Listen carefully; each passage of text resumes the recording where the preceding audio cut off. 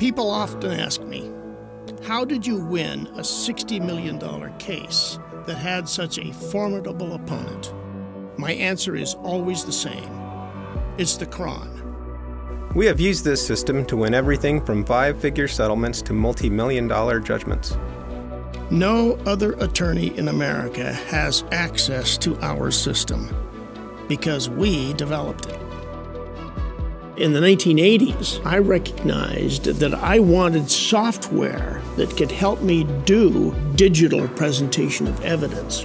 So I went to some programmers and they developed this program and then interface what they did with our word processing system.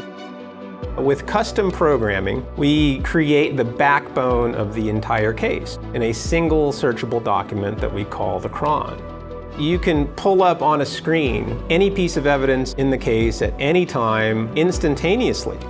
When you have all of the evidence at your fingertips, you can show someone and create an image in their mind. It's memorable.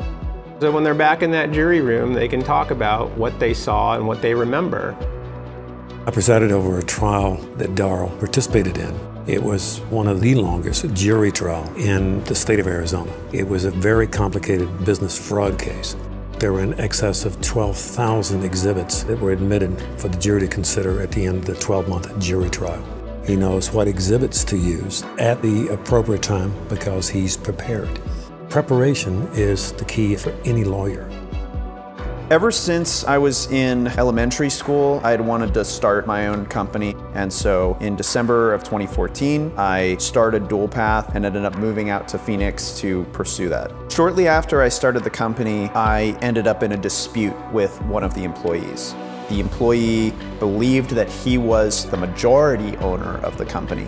When I started working with Dan, I knew immediately that he knew what he was doing, he knew what he was talking about, and that he was trustworthy.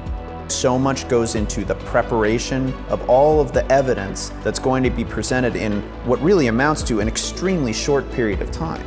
And the cron allows Dan and his firm to be immediately able to call up the required evidence, put that up on the screen for everybody to see, such that the point is so clear and so convincing, it's almost impossible to argue with. Because of his attentiveness and his intelligence, we were able to just get right to work and collaborate on building this case that was ultimately successful.